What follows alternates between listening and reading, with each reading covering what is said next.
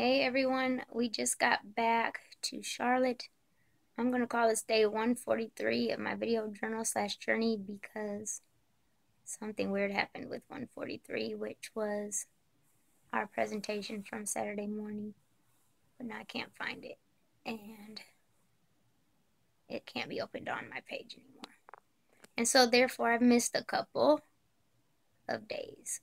So I would just have to tag them on at the end. Anyway, I'm exhausted. It is super late. And like I said, we just got back safely from Illinois.